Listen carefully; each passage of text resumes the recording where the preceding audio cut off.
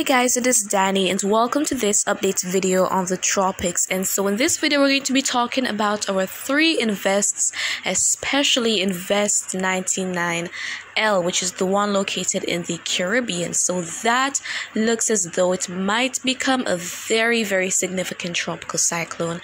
And then we have the other two out in the Atlantic. But before I go into details,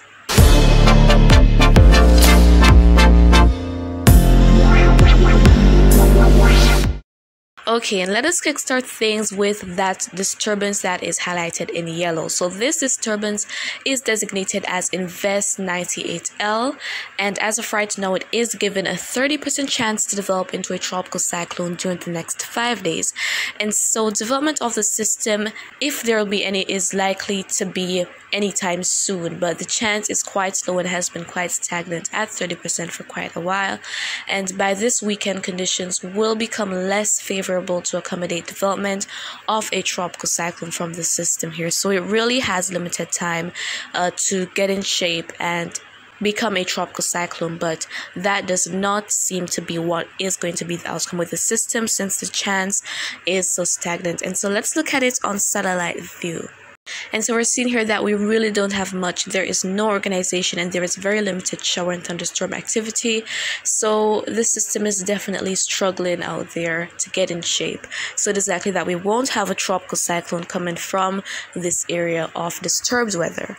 And so now let's move on to our other invest. So let's talk about invest 97L. That is a disturbance out in the Atlantic that is highlighted in red, which means that it has a high chance to develop into a tropical cyclone. So looking at satellite view of it, we're seeing here that it is getting somewhat in shape. It is looking a lot better than 98L. And so going to the National Hurricane Center's five-day outlook, we're seeing here that it is given a high 80% chance to develop into a tropical cyclone during the next five days.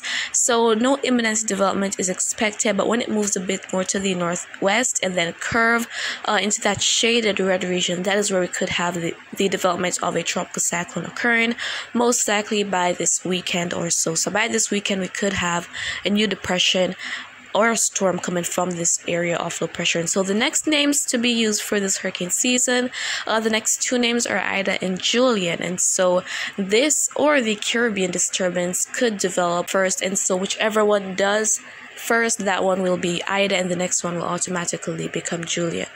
And so now let us go on to the model intensity guidance for our Invest 97L. So we have very few models available, but most of them are agreeing that this will become a tropical cyclone and eventually a hurricane. So all but one of the available models are expecting that this system here is going to become a hurricane but we have to wait and see what's going to be happening with it but fortunately it is going to be out in the open waters and not expected to be much of a threat to land next let's go on to the Caribbean disturbance here. And so, looking at the satellite imagery, we're seeing that it is actually getting in shape because last night it didn't look good at all. But now, this morning, here we have the system starting to develop, you'd say. And so, now let's go on to the National Hurricane Center's five day outlook for it. And so, it is also given an 80% chance to develop into a tropical cyclone and a 40% chance during the next 48 hours. So it has a slightly higher chance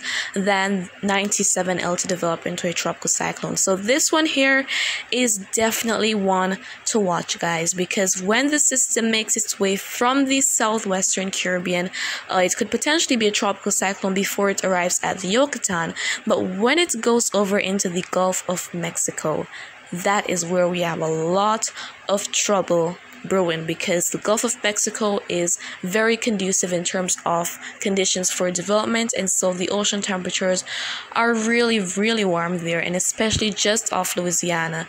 And we have GFS models showing that the system is going to be something quite significant there. So we're going to be looking at uh, some model runs to see what they're anticipating at the time of landfall of the system here because it is expected to become a tropical cyclone, and I have no doubts that it will become one. So let's go on to conditions that are currently across the basin. So first up, ocean temperatures. And so we see that ocean temperatures are very, very conducive. And where is the warmest section? The Gulf of Mexico, of course.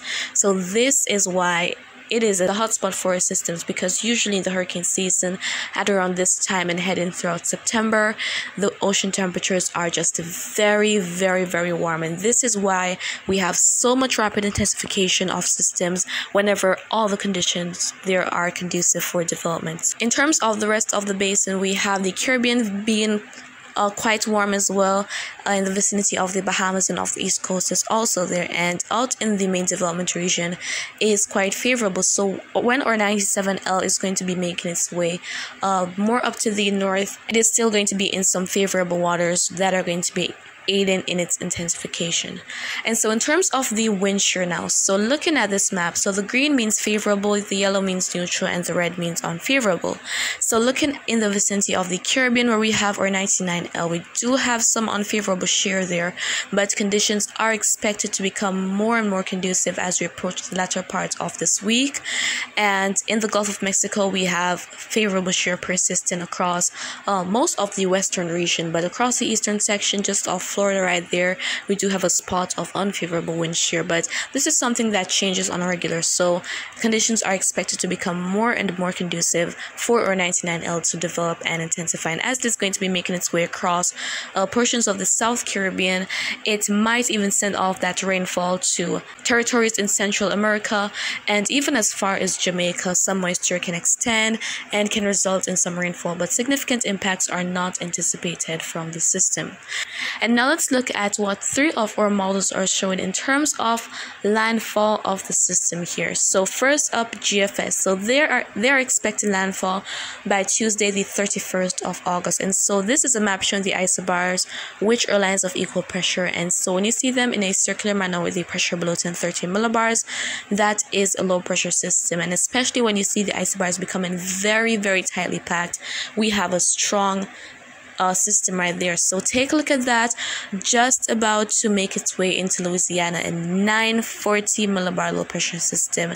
That is probably a category 4 monster right there, guys.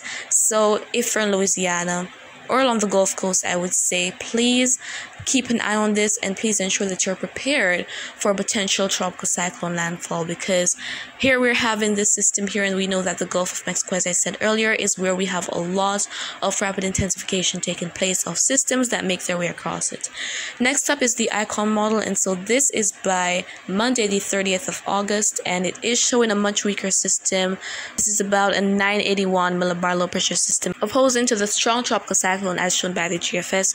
So this is probably a hurricane at this point and so finally let's go on to euro. And so we're not seeing the numbers here but as you can tell by the isobars this is likely a hurricane making landfall on the gulf coast. So we'll have to wait and see what happens. But as we approach september we're now heading into that time of the year now where we have most tropical cyclone activity taking place. And so as time goes by we are expecting to see a lot more of these systems.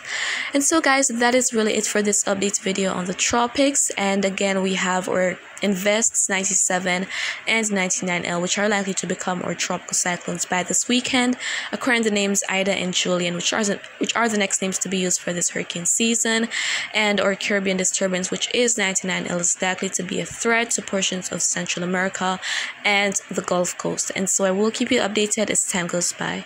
And if you found this video to be quite informative, please give a thumbs up, and you can also share your thoughts with me in the comments or ask a question. I'll try to respond as best and as soon as I can, and just just remember to always be with wise.